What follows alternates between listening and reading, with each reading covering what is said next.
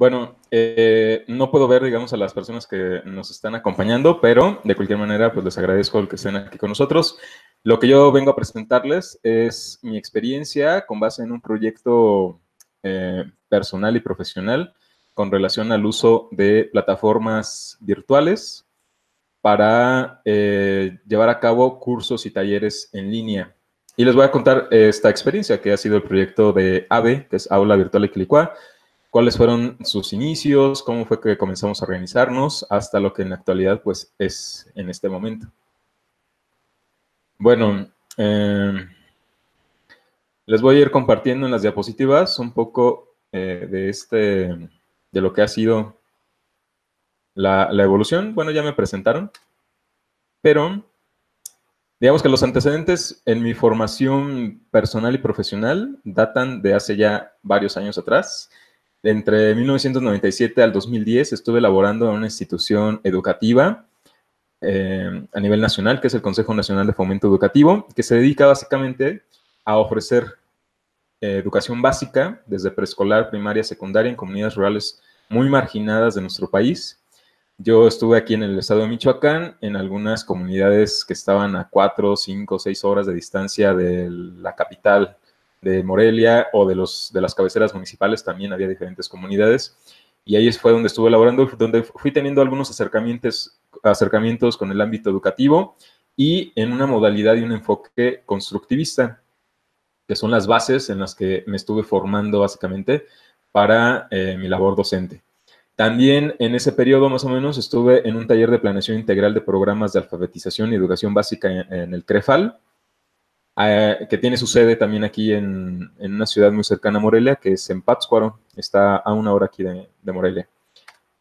Ya posteriormente a esto, pues bueno, estuve familiarizándome con el tema del homeschooling, que ese tiene que ver con aquellos padres y madres de familia que deciden educar en sus propias casas a sus hijos por distintas razones.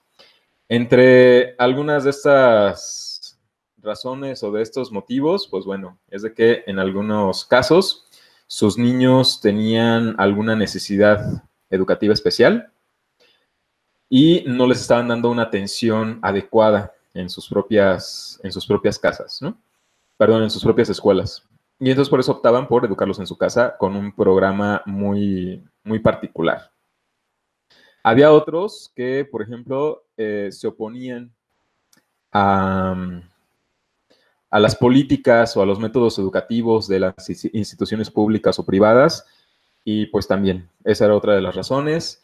Eh, también por algunos principios de sus creencias religiosas, pues no estaban de acuerdo que rindieran honores a la bandera y cosas así por el estilo, pues también los educaban en casa. Otros porque vivían en zonas rurales muy alejadas, que no tenían un servicio educativo, eh, pues ahí, digamos, cercano. Por eh, casos de suspensiones también muy frecuentes de clases, que de manera particular aquí en Michoacán es una situación eh, también muy frecuente, muy común, así como en otros estados de la República acá del Sur, ¿no? Lo que es Guerrero, Oaxaca, en donde los, eh, los maestros constantemente están haciendo paros y, en huelga. Y entonces, pues bueno, o sea, los papás ya tenían que optar también por, por educarlos en su propia casa, darles un seguimiento, ¿no? Más que nada. También la percepción de violencia que se vive en algunas de estas localidades y en estos municipios también ah, se ha salido mucho de control y pues los ha afectado directamente. Y por otro lado también hay ah, gastos excesivos en las escuelas que tienen que ver con compra de uniformes, cuotas, útiles escolares y bueno, muchos gastos que luego se van generando y bueno, entre otros, estos son algunos de los motivos o causas por las que estos papás y mamás optan por eh, educar en su propia casa, además de que pues ellos quieren ser los primeros responsables, ¿no? Y asumir ese, compromiso de ser los primeros educadores en la vida de sus hijos, que ya lo son, pero que le quieren pues igual dar seguimiento en los siguientes años. Y, pues compartirles, ¿no? Esta, fuente de, aprendizajes para ser la principal influencia también en la vida de sus hijos. Em, ahora, por el otro lado, también mucho de lo que hacemos nosotros ya em, en etapas adultas tiene que ver mucho con el homeschooling. De hecho, por ejemplo, los que optamos por estudiar una licenciatura a distancia a través del SUAYED, por ejemplo, de la UNAM, pues podría considerarse que también estamos haciendo homeschooling, porque desde nuestra propia casa estamos eh, llevando a cabo un programa educativo que en este caso, pues depende de una institución pública que, digamos que eh, dentro de las políticas y las leyes puede certificar estos estudios, pero finalmente nosotros estamos eh, siendo educados y optamos por este tipo de, formación a distancia en nuestra propia casa. Entonces, es un, entra como una parte de las modalidades del homeschooling. Y, y, bueno, esto también tiene la ventaja de que nos podemos adaptar a diferentes horarios, ¿no? Nuestros tiempos también cuando tenemos compromisos laborales o familiares, pues fácilmente los podemos adaptar también en esta modalidad. Eh, hay diferentes modelos dentro del homeschooling. Eh, entre ellos está un sistema que es completamente desescolarizado, donde los papás pues no tienen esta o no buscan esta certificación o el que sea eh, o que tenga constancia la educación de los hijos, simplemente lo que les eh, enseñan ellos por su propia cuenta eh, se basa eh, en la libertad, ¿no? En la libertad de, enseñanza y la libertad del conocimiento. Ese es como uno de los puntos más básicos del homeschooling en esta modalidad. Y se, confía en la habilidad que tiene para aprender por sí mismo cada uno de los niños, aunque se realicen en clases, pues, medio informales. Em, bueno, déjenme ver más adelante. Tenemos que en el año 2015 eh, tuve la fortuna de participar en un diplomado por parte de la UNAM en formación para la educación a distancia y también en un taller de entornos personales de aprendizaje para un proyecto, también por parte de, de la UNAM y de hecho que fue organizado por chat. Entonces tuve esta, esta fortuna de participar en estos dos cursos, tanto en el diplomado como en el taller, en el año 2015. Y esto, pues, sentó también mucho las bases para seguir construyendo el proyecto del homeschooling, porque entonces ahora, incorporando estas eh, tecnologías de plataformas de aulas virtuales y pues todo lo que tiene que ver con em, integrar o incorporar recursos y actividades de aprendizaje en línea, pues enriqueció aún más el trabajo que estaba realizando en, este tema. Y con esto pude diseñar el primer taller de, la comunidad de homeschooling que estaba teniendo a cargo, que es el del diseño de un entorno de aprendizaje constructivista para educar en casa. En este... Eh, perdonen. Ahí está no alcanzó a... Ah, ya. En este, en este primer taller que se realizó en el año 2016, se inscribieron 151 personas en un grupo y 58 personas en otro grupo, que fue en el mismo año. Eh, participaron eh, de todos estos que se inscribieron personas de nueve países, no solamente de aquí de México, también de Chile, de Colombia, de Venezuela, de Estados Unidos, de España, de Francia, de Perú y de Argentina, que son los países en donde, digamos que tiene un poco más de presencia o más auge este tipo de modalidad de, enseñanza. Para mí, ese primer taller fue una experiencia muy eh, gratificante y muy sorprendente porque era algo que definitivamente no esperaba, ¿no? Que hubiera tantas personas interesadas en este tema y no solamente aquí en nuestro país, sino que incluso del extranjero. Y fue una experiencia muy, muy gratificante. Estaba escuchando que en la sesión anterior estaba por aquí Liz Valenzuela y bueno, ella justamente fue una de las alumnas de estos primeros eh, grupos y tuvo la, experiencia de poder participar en, esta, en este proceso formativo porque estuvo dirigido este taller no solamente a padres y madres de familia, sino también a eh, profesionistas del área educativa, tanto psicólogos como pedagogos, que estuvieran interesados en la formación del homeschooling. Y pues la convocatoria fue, abierta para todas estas personas y pues esos fueron los que se inscribieron. Luego, en el año 2018, nuevamente se realizó este, este taller y fue evolucionando también la, digamos que un poco el enfoque, porque si nos regresamos un poco, en el año 2016, el enfoque era completamente en cuestión del homeschooling y todo lo que tenía que ver con eh, eh, este modelo educativo. Ya para el año 2018 ampliamos un poco el objetivo de esta comunidad para que no solamente se basara en el homeschooling, sino en términos generales en la educación a distancia a través de estas plataformas virtuales de, enseñanza y de aprendizaje. Por eso fue que hubo un cambio eh, en el nombre también y de llamarse Equilicua Homeschooling Constructivista pasamos a llamarnos Equilicua Aula Virtual. Y en este mismo año, en el 2018, también se llevó a cabo el primer Congreso Internacional en línea de Homeschooling, en donde participaron eh, padres, madres de familia, profesionistas también en el área de psicología y de pedagogía, con temas que pues eran del propio interés ¿no? de esta comunidad, participando personas eh, tanto de aquí de, nuestro país, de México, como personas eh, que radican en Estados Unidos y en Colombia. Fueron como de los países que estuvieron un poco más eh, involucrados, pero también hubo algunas participaciones en cuanto a productos por parte de personas que vivían en España.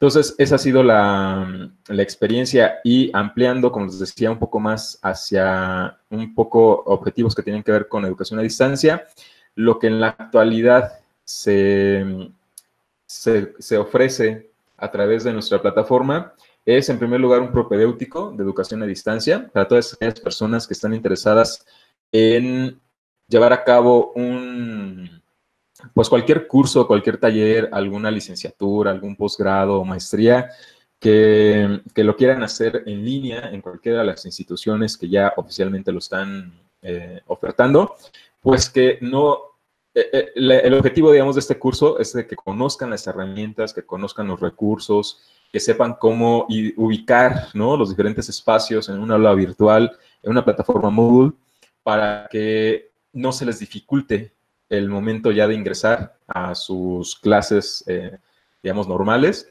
porque pues ya tienen este conocimiento previo, porque lo que nosotros tuvimos o fuimos teniendo como experiencia en los talleres que estuvimos realizando es que muchas personas van desertando eh, mientras se van desarrollando los, los talleres y eh, haciendo una evaluación justamente de, estas, de estos motivos, pues lo que ellos manifestaban es de que pues hay primeras barreras, ¿no? Que se les van presentando para poder eh, dar inicio y continuidad a un taller en línea, a un curso en línea, que es el uso de las herramientas virtuales justamente, ¿no? Las plataformas, ubicar en dónde se encuentran, eh, pues, la posibilidad de enviar mensajes, de subir eh, documentos o tareas, simplemente entraban y de pronto se sentían que estaban solos, ¿no? Porque no veían a nadie más que estuviera por ahí eh, compartiendo algo, entonces para ubicar la lista de los que forman parte de los, del grupo, pues todo eso era muy, muy importante que lo supieran desde antes. Y eso es lo que nos iba manifestando, ¿no? O sea, de, las dificultades que en un primer momento se les iban presentando para poder iniciar. A lo mejor sí tenían las ganas, ¿no? De querer participar en el taller o en el curso, pero la parte tecnológica era una de las principales dificultades. Entonces, por esta razón, es de que decidimos diseñar este taller propedéutico de educación a distancia, en donde les pudiéramos facilitar esta, el uso de estas herramientas. Eh, además, también, este, otro de los cursos que llevamos a cabo es el de tutor constructivista online, también abriendo la posibilidad a que diferentes profesionistas o personas que tuvieran algún conocimiento para compartir con la comunidad, la comunidad no solamente de homeschooling, sino en general eh, para toda la población, pues que tuvieran una formación justamente también para lo que, lo que lo pudieran llevar a cabo. En el mismo sentido, ¿no? En un principio, pues de ir conociendo las herramientas, los recursos y las actividades que nos ofrece una plataforma de aula virtual como lo es Moodle, para que entonces podamos hacer las adaptaciones curriculares que nos permitan eh, llevar a cabo un taller en línea. Y no solamente llevarlo a cabo y construirlo, diseñarlo en cuanto a su contenido, sino también en el seguimiento, porque otro de los de las barreras o los impedimentos que encontrábamos y que nos manifestaron algunos de nuestros alumnos es que eh, la ausencia de los tutores es muy común en un curso a distancia o en una licenciatura. Y nosotros que estudiamos a distancia, como en el SOYET, también lo vivimos por parte de muchos tutores, ¿no? Que prácticamente todo el semestre, pues nosotros hacíamos solo el, solos el trabajo. Y sí, tiene mucho, eh, mucho que ver el hecho de que se espera eso de nosotros, que seamos muy autosuficientes, que seamos autogestores de nuestro aprendizaje, eh, pero también se requiere en algunos momentos el que haya este acompañamiento mucho más cercano por parte del tutor. Afortunadamente, también tuvimos la experiencia de contar con tutores que estaban muy al pendiente de los alumnos, ¿no? En cuanto a las retroalimentaciones, en cuanto a diseñar algunos chats, Y eso es algo muy valioso, es algo muy importante que también nosotros lo, lo pudimos identificar en los cursos que llevamos a cabo.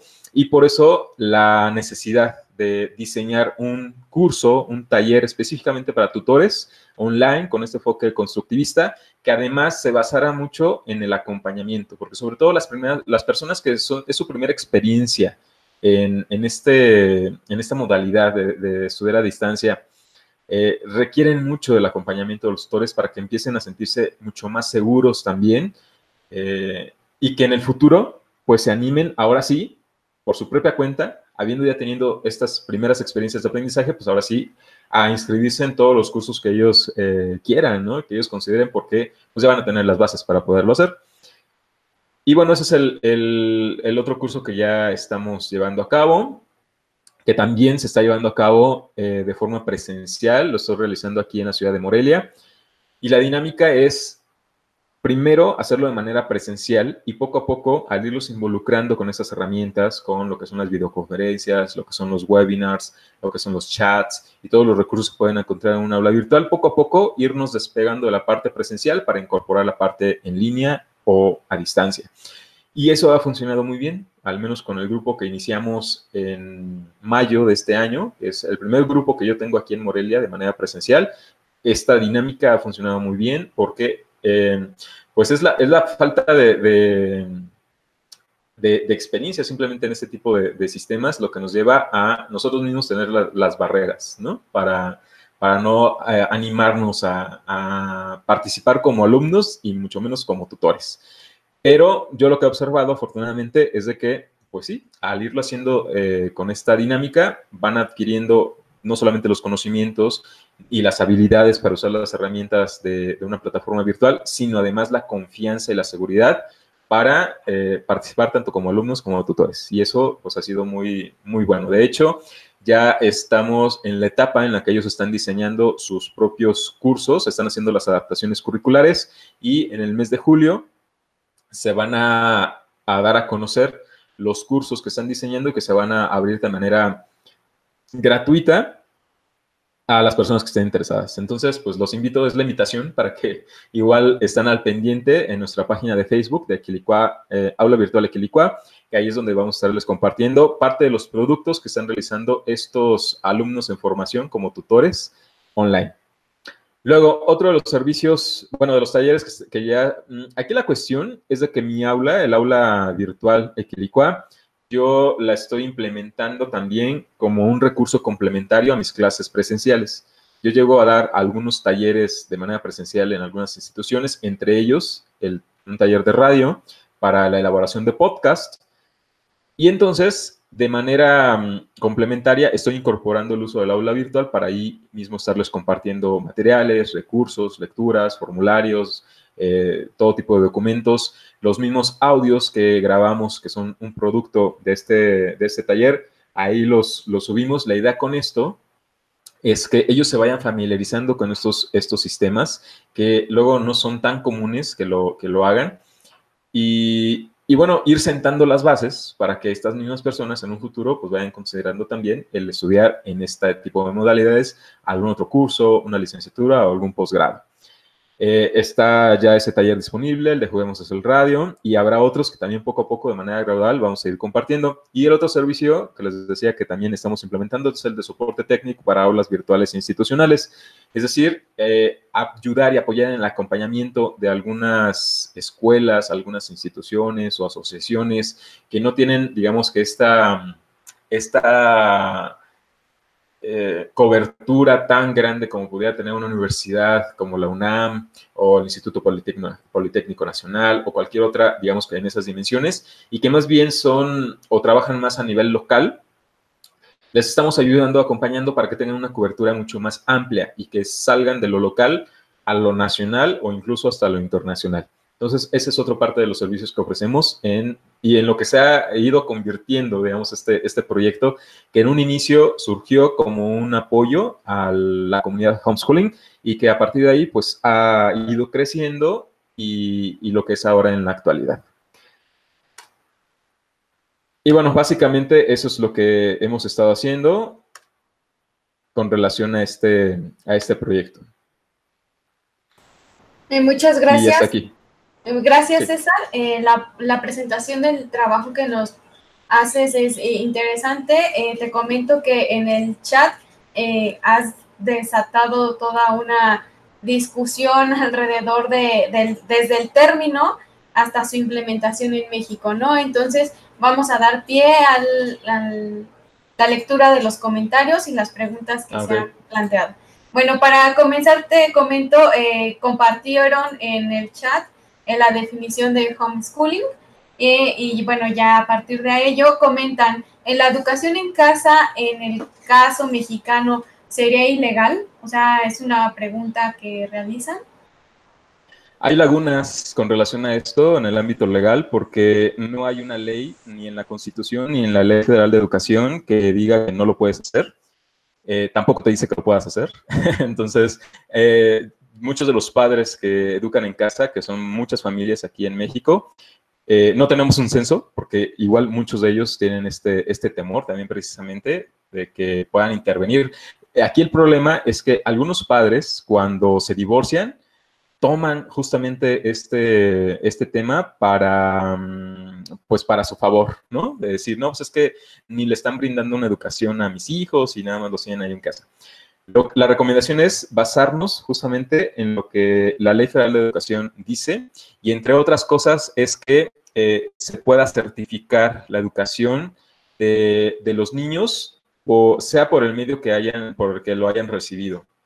Y eso nos deja abierto a que, bueno, haya niños que no lo hayan hecho de manera directa en una escuela formal y que lo hayan hecho, em, pues, por otros medios y que en determinada edad, pues, requieran una, una constancia, un certificado, la SEP, dentro de sus leyes, especifica que sí se, se, pueda realizar de esta manera. Otra recomendación que se hace es que se deje eh, constancia a través de evidencias que los niños han sido eh, formados en, el ámbito educativo en el propio hogar. Es decir, eh, hay muchas estrategias, ¿no? Entre ellos los libros eh, de aprendizaje, los proyectos, y todo esto, dejar evidencia de, esos recursos, de esos materiales en fotografías o en los mismos, físicamente, ¿no? Con los mismos materiales, para que entonces eso, si en algún momento llegara a requerirse en el futuro por cuestiones o aspectos legales, pues se pueda tomar como una, como una base, ¿no? Para decir, pues no es que no se haya educado, porque todos, lo dice la Constitución, ¿no? Tenemos el derecho a la educación. No necesariamente se dice que la educación tenga que ser en una escuela eh, formal, que sea la que ofrece directamente el Estado. Entonces, ese es uno de los puntos que están como eh, tomados como base, ¿no? Y como respaldo de que no se deja a los niños en educación. Simplemente se opta por un modelo distinto al, al común, ¿no? Ok, muchas gracias por esa aclaración. Eh, comentan, Manuel comenta, yo pensé que eso era solo gringo, ¿no? Pero pues ahora en México también se comienza a implementar.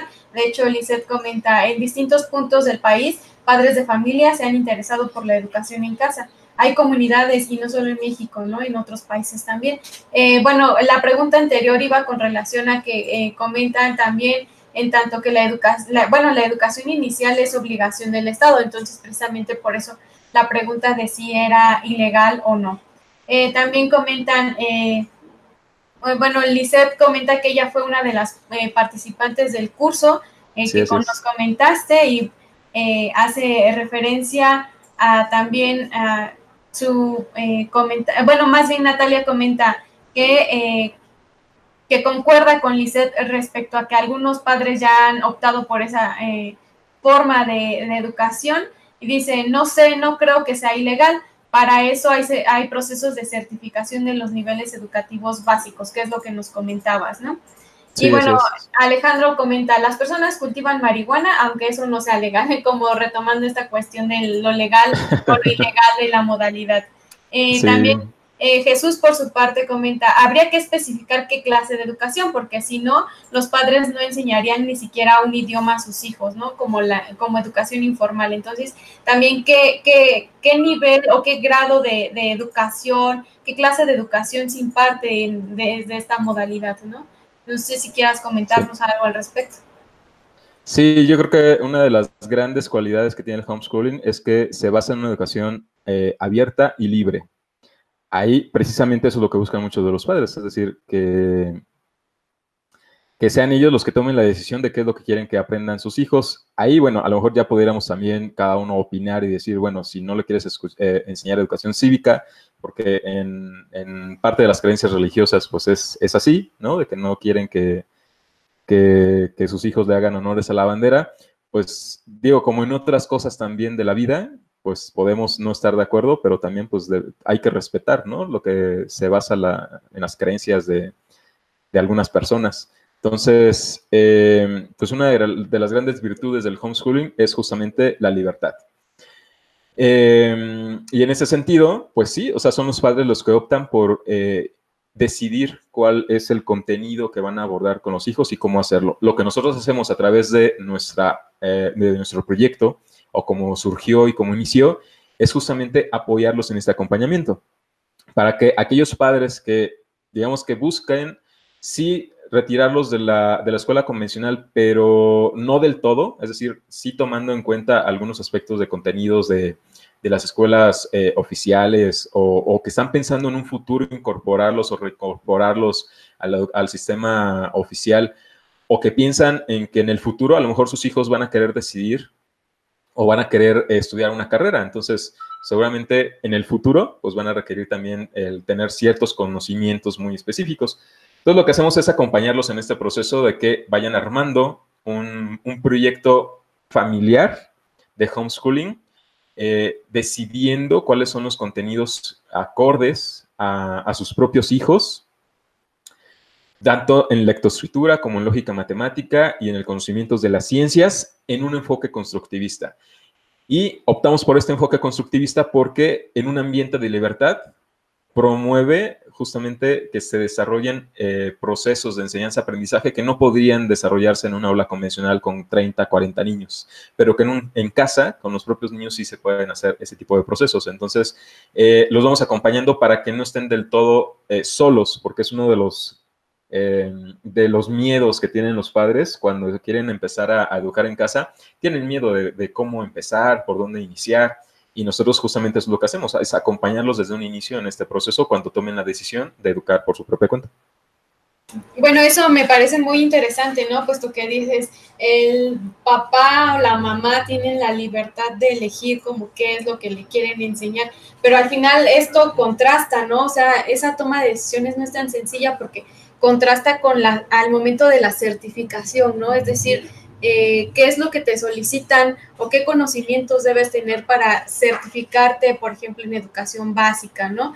Y otras cuestiones que mencionabas, o sea, si no quieren eh, enseñarle cuestiones de educación cívica, y bueno, al, momento de, al final estamos insertos en una sociedad en estas cuestiones y pues, eh, por ejemplo, la educación cívica, los valores, eh, eso también pues vale la pena reconocer, ¿no? Y me parece que la propuesta que realizas en cuanto a, retomar aquellos elementos, aquellos eh, conocimientos que se imparten en la escuela y como darle una guía al, padre para decir, bueno, esto es como lo mínimo que debe saber el, niño, pues vale la pena, ¿no? Y ahí ya como eh, contrastamos esa libertad, ¿no? O sea, si tienes libertad de educarlo, de enseñarle, pero pues también tienes que cumplir con ciertos requisitos, ¿no? Que al final tiene que tener el niño, ¿no? Eh, si es que en algún punto quiere insertarse en la escuela o continuar con su formación, ¿no? Más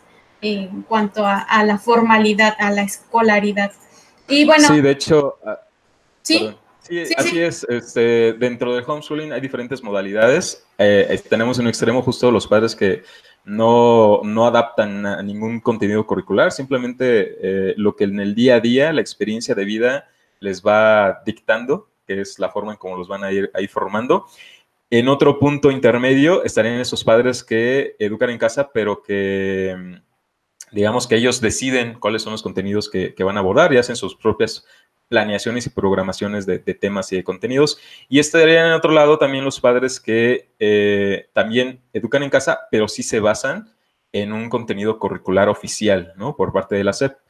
Eh, va a depender, ¿no? Cada padre decide cuál es como que la perspectiva que tienen a futuro. Independientemente de esto, si un niño o un chico crece a los 15, 16 años eh, o antes desea estudiar una carrera, hay también otras modalidades en nuestro país que afortunadamente contamos con ellas para que puedan certificar sus estudios. Por ejemplo, Linea, que a partir de los 15 años ya puedes, con un solo examen, certificar la primaria o la secundaria, o incluso hay una dispensa de edad para que desde los 11, 12 años los niños también ya puedan empezar a, tomar las clases o los proyectos, me parece que se les llaman en el para que puedan certificar sus estudios. Entonces, digamos, independientemente de la edad en la que se encuentren, hay opciones, ¿no? Que afortunadamente en varias instituciones de nuestro país están disponibles para que ellos puedan certificar sus estudios en dado caso de que así lo, lo decidan hacer, ¿no? Tanto los padres como los mismos niños.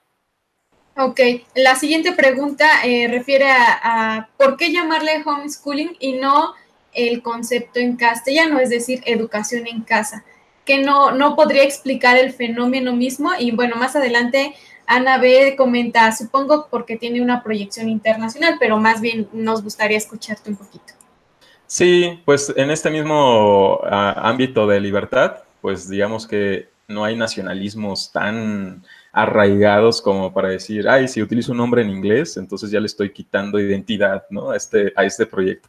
Pues no, digamos que sí es esta visión internacional con la que estamos más familiarizados, es decir, sí surgió y tuvo sus inicios el homeschooling en, un país distinto al nuestro y, pues estamos tomando esta palabra como para eh, podernos identificar más fácilmente, ¿no? Que igual el curso, de hecho, es entorno de aprendizaje para educar en casa. Entonces, eh, es mucho más específico, mucho más claro también para las personas hispanohablantes y no estamos utilizando en ningún momento la palabra homeschooling, pero y sin embargo es, es lo mismo.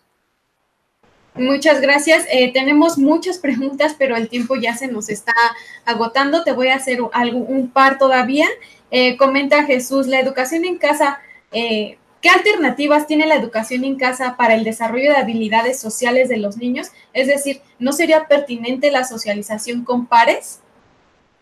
Sí, es otra de las eh, cosas que se comenta mucho con relación al homeschooling.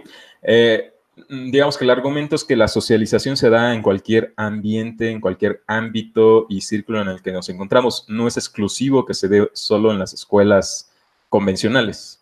Eh, en la familia se socializa, en nuestra cuadra con los vecinos, en la colonia también se socializa. Cuando asistimos a, a la iglesia, a alguna ceremonia religiosa, se está socializando. Cuando asistimos a un concierto, a un evento, en algún teatro al aire libre, en la comunidad en la que nos encontramos, se está socializando y también de esa manera se aprende, no solamente eh, con personas de la misma edad, sino como se hace en la, en la, vida diaria, en la vida real, ¿no? Con personas de todas las edades. Entonces, la socialización no, no, es, no se omite en el caso del homeschooling. Bueno, pues agradecemos mucho tu participación. Eh, lamentablemente eh, por el tiempo vamos a detener las preguntas. Sin embargo, te, te invitamos al chat en Telegram